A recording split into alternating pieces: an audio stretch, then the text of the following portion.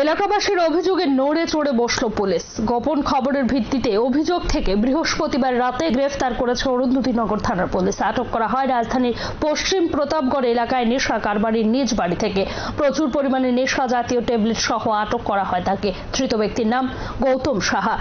অভিযুক্ত ব্যক্তি দীর্ঘদিন ধরে নেশার রমরমা ব্যবসা করে চলছিল। পুলিশ জানার পূর্বেও তার বিরুদ্ধে বহু মামলা রয়েছে।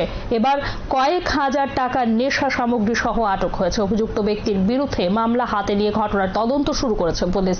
পুলিশের ধারণা, অভিযুক্ত গৌতম সাহাকে জিজ্ঞাসাবাদ করে এই চক্রের সাথে জড়িত বাকিদেরও জালে তুলতে পারবে।